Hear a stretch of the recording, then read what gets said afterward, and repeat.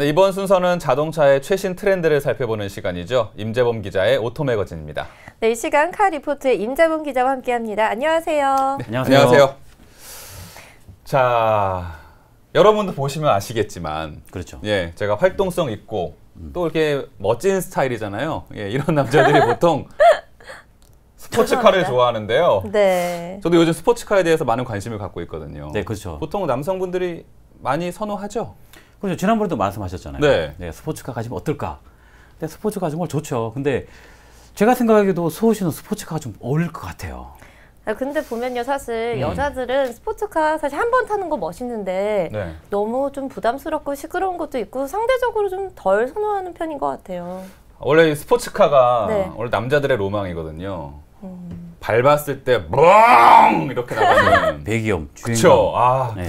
근데 뭐 이 정도 있으면 뭐 조금 불편해도 저는 충분히 만족할 것 같거든요. 뭐 대중적이진 않지만 스포츠카를 닮은 그래요. 네. 세단 정도는 괜찮지 않을까요? 스포츠 어. 세단 정도? 뭐 그런 차가 있죠. 예, 스포츠카를 닮은 네. 스포츠카의 네. 감성을 그대로 맛볼 수 있는 예, 쿠페형 세단이 있습니다. 어떤 게 있을까요? 뭐 식스 그랑 쿠페, 그다음에 뭐 CLS도 있고요. 뭐 파나메라 네. 이런 차들이 어 있죠. 아 듣기만 해도 너무 네. 비싼 차들 같은데요. 계속 그림의 떡만 말씀하시는 것 같아요. 잘 어울리시는데. 아 근데 너무 비싸요 이거. 좀 조금 저렴한, 조금만 저렴한 차 없을까요? 있습니다. 한 4천만 원 초중반대에 네. 에, 뭐 맥시마라는 차량이 있는데요. 뭐 그나마 스포츠카의 감성을 그대로 유지하면서 스포츠카 같은 어, 음. 엔진 감성을 그대로 음. 표현할 수 있는, 느낄 수 있는 뭐 그런 차량이 아닐까라는 생각이 듭니다. 네, 사실 예전 예전에 맥시마를 타는 친구를 알고 있었는데 이게 스포츠 세단인지 몰랐어요. 그냥 세단인 줄 알았는데 놀랍네요.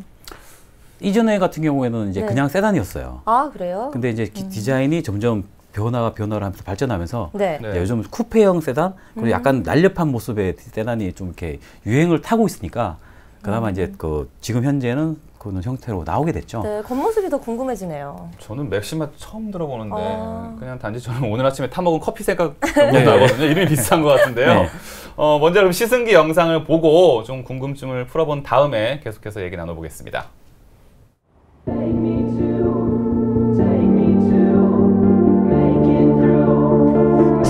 스포츠 세단의 새로운 강직이 나타났습니다.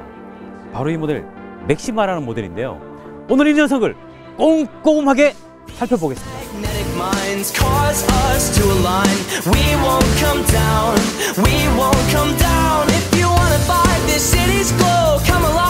맥시마의 가장 큰 특징이라면 이 차의 디자인을 꼽을 수가 있습니다.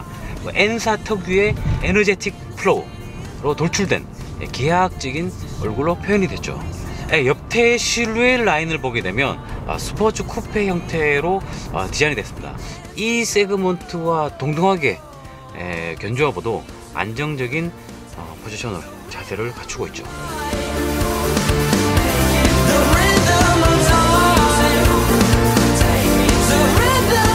실내 공간을 보게 되면 어, 제트기에서 영감을 받았다는 그런 실내 공간입니다. 뭐 직관적인 버튼 어, 버튼도 위치들이 운전석에 앉아서도 아주 편하게 네, 바로 네, 갈수 있게끔 디자인을 이렇게 되어 있어요. 말 그대로 스포츠 세단을 정말 강조라도 하듯이 steering wheel이 D컷입니다. D컷이고 네, 그립감이 어, 나쁘지 않아요. 아주 아주 굵지는 않지만 적당한 크기 정도 수준이 되지 않을까 라는 생각이 듭니다 주행의 감성을 좀 더 느낄 수 있게 패들 시프트가 적용이 됐더라면 좀 더 좋지 않았을까 라는 생각이 드는데요. 이 패들 시프트가 좀 약간의 한 2% 부족한 네, 그런 느낌이에요. 하지만 대신에 트렁크 공간이 깊숙합니다. 그래서 어, 골프백이 한 3개 아니면 4개 정도가 충분히 들어갈 정도의 어, 공간이 확보되어 있어요. 그리고 또 2열 시트로도 폴딩할 수가 있습니다. 폴딩하게 되면 뭐 겨울에 스키장 갈 때 스키를 좀 더 실을 수가 있겠죠.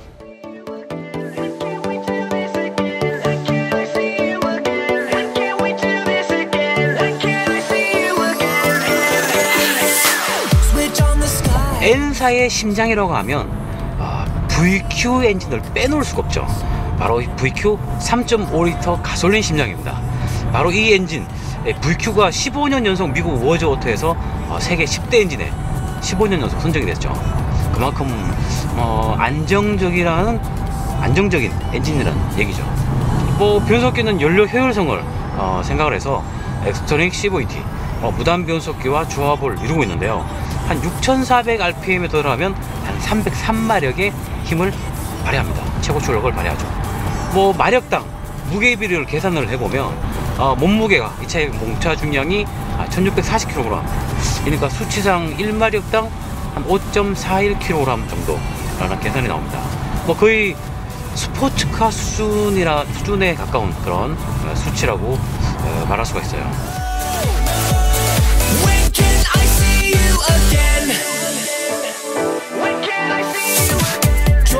네, 이 녀석은 무단 변속기의 효율성과 정숙성을 갖췄음에도 어, 변속이 변속을 이어나가는 엔진 소리 바로 active sound system이죠. Enhancement system이 적용되어 있습니다. 뭐 스포츠카에 버금가는 엔진 사운드를 뿜어냅니다. 청각에 이어서 시각적으로도 예, 고려가 됐는데요. RPM의 어, 엔진 회전수 바늘을 정말 이게 바로 그 즉시 변속되는 타이밍에 맞춰서 수, 어, 변속을 이어가 나가는 그런 효과를 만들어냈습니다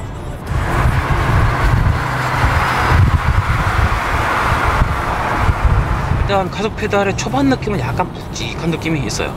엔진에서 이 치고 나가는 가속감은 아주 가벼우면서도 아주 매끄러운 그런 어, 엔진의 네, 느낌이에요. 그런 감성을 갖고 있습니다.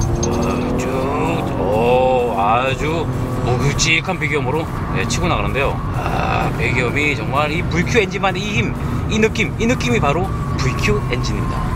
3.5L VQ 엔진 스포츠 세단으로서 부족함이 없는 그런 퍼포먼스를 그런 퍼포먼스를 보여주고 있어요. 웬만한 코너링을 만나도 뭐 어지간해서는 뭐 브레이크 페달에 발을 안 올려도 깨끗하게 이 차 winding을 벗어날 수가 있어요. 뭐 맥시마에 적용이 된 안전 장치가 있기 때문인데요. 바로 active understeer control 이 장치죠. 전륜 쪽의 좌우 타이어의 구동력을 제어함과 동시에 완벽하게 자세를 잡아주기 때문에 안정적인 코너링 성능을 어, 발휘를 하게 되는 거죠. 여기에 또 후방 multi-link 서스펜션이 서로 유동적으로 예, 작용이 되면서 예, 코너에서 어, 발휘 발생이 되는 understeer 현상을 어, 잡아주게 됩니다.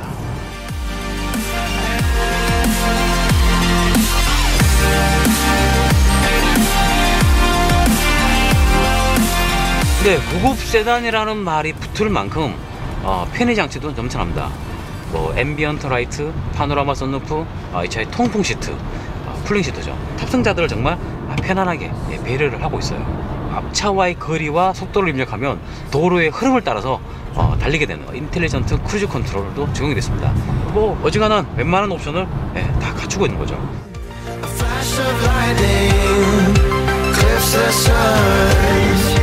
네, 개성 있는 디자인과 편의 장비, 첨단 기술 등으로 최고급 스포츠 세단이라는 목표로 일관성 있게 조율된 Maxima의 경쟁력은 국내 시장의 동급 모델과 비교해봐도 그 행보가 밝아 보이는 모델이라고 평가가 됩니다. 럭셔리 스포츠 세단 Maxima였습니다.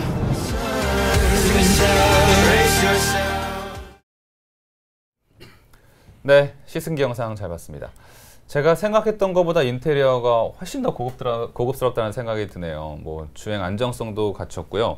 뭐 이 정도면은 드라이버의 마음을 움직이기에 충분하지 않나라는 생각이 들 정도입니다. 네, 저도 옛날 옛날에 아는 사람이 이 차 음. 타는 거 봤다 했잖아요. 네 정말 겉모습이 너무 달라졌네요. 정말 스포츠카스러운 그런 느낌이 확 들어요. 근데 아. 갖출 건 진짜 정말 다 갖췄네요. 그렇죠. 그렇죠. 뭐 intelligent cruise control, 뭐 around 어, view, 네. 뭐 후측방 경고 장치. 어. 아마 이런 것들이 이 Maxima를 더 빛나게 만드는 요소가 아닐까 싶은데. 네, 맞습니다. 뭐 또 영상에서 말씀드렸는데 네. 무려 이제 이 차의 역사가 35년이잖아요. 35년의 네. 역사가 정말 이 차의 전통을 말해주는 게 아닌가라는 생각이 듭니다. 네. 뭐 N사 브랜드라고 하면 네. 말 그대로 이제 VQ 엔진, 음. 뭐 15년 연속 Ward's Auto에서 아까 말씀드렸는데 네. 어 뭐 선정된 10대 엔진으로 또 음. 유명을 하잖아요. 아, 뭐 그런 네. 여러 가지 등등의 요소들이 전부 합쳐져서 예, 그런 뭐 이런 효과가 나오지 않을까. 예, 15년 연속 세계 10대 엔진 그게 VQ 엔진 얘기하는 거죠? 네 맞습니다. 음. 그 엔진에 대해서 좀 자세히 좀 설명해 주세요. 저희가 VQ 엔진 그런 걸 잘 모르는데. 네. 예. 뭐, 그 2.5리터도 있고 3.5리터, 3.5리터도 있는데 네. 예, 3.5리터의 3,500cc의 가솔린 엔진 음. 이 엔진이 바로 VQ 엔진이고요. 네. 뭐 해가 바뀌어도 VQ 엔진이라고 그러면 솔직히 어, 그, 뭐, 그 우수성이 유지가 되기 때문에 네. 당분간 어느 정도 이제 뭐 기술력 인정받을 것 같고 어, 받을 것 같은데 아마 좀 약간 아쉬운 점이 있다 그러면 음. 최근에 이제 downsize 엔진에 대한 downsizing 엔진에 대한 그 기술력이 또 많이 돋보이고 있잖아요. downsizing이면 뭐 크기를 줄인다는 말씀이신가요? 배기량을 낮추면서 출력을 높이는 아. 터보 차저를 더해진 그런 엔진인데 어, 이 차는 네. 지금 일반 엔진이기 때문에 네. 또 이거 이, 이 출력에 한 뭐 2,500cc에 예를 들어서 터보 차저를 더하게 되면 네. 지금 현재 VQ 엔진만큼의 출력이 충분히 나올 수 있거든요. 네. 예, 연료 소모도 많이 줄일 수가 있고 아마 그 기술이 좀 더 접목이 된다 그러면 음. 아마 좀좀더 또 어, 좋은 차량으로 또 돋보이지 않을까라는 생각이 듭니다. 네, 기자님 말씀을 잘 들어보니까 사실 저는 차는 예쁘고 굴러가면 된다 이런 생각을 했는데 네. 아, 엔진 출력 얼마인지 뭐 이런 거 전혀 생각을 못 했거든요. 근데 이 프로그램을 진행하면서 차근차근 좀 자동차에 대해서 알아가는 재미가 느껴지는 것 같습니다. 근데 지현 씨는 아까 네. 기자님이 얘기만 하면 네. 아, 어려워, 아, 어려워 이렇게 얘기하잖아요. 네. 저도 처음에 몇 개월 전에 시작할 때 이게 대체 무슨 소린가 그랬었거든요. 네. 아마 조금만 더 하다 보면 지현 씨도 자동차 박사가 될 겁니다. 예, 조금만 네, 기다려 보세요. 네. 네. 자, 이 맥시마가 아까 뭐6 그란 쿠페 뭐 파나메라보다 가격이 저렴하다고 말씀을 하셨는데 그래도 스포츠 세단이니까 어느 정도 가격이 좀 있을 것 같아요. 정확히 어느 정도인가요? 아까 좀 뭐 4천 조금 넘는다고 얘기했잖아요. 네. 뭐 4,370만 원 정도에 이 정도면 뭐 거의 풀 옵션을 모두 다 넣어서 아, 풀 옵션으로요? 네, 네네, 살 수가 있더라고요. 어, 그렇군요. 세계 10대 엔진을 장착한 고성능 스포츠 세단 Maxima에 대해서 오늘 자세하게 살펴봤는데요. 스포츠카와 세단의 장점을 골고루 다 갖추고 있어서요. 운전자들에게 정말 충분히 매력적인 차다라는 생각이 들었습니다. 네. 자, 오늘 맥시마 알아봤습니다. 지금까지 카리포트의 임재범 기자와 함께 했습니다. 고맙습니다. 네, 감사합니다.